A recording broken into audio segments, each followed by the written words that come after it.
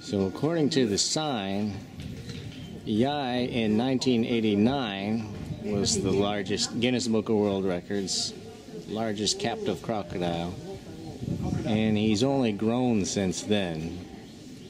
So in 1989, he weighed 2,465 pounds and 19 feet long. I, I've heard he's over 21 feet now. So we're trying to find a 21 foot crocodile in this pond. Hey, get in there.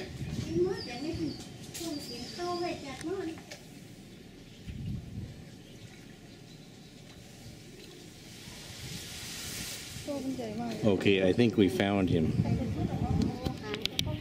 He's under the bridge though. So you see his tail. And then over here, his head on the other side.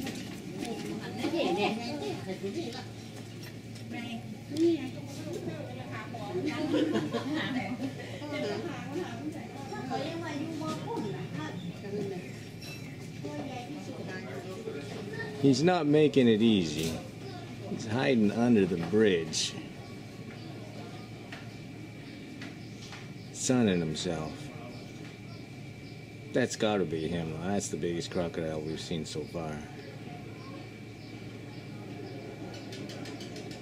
Unfortunately, the only way to get closer is to go down there and visit him, and I don't think anybody's about to do that.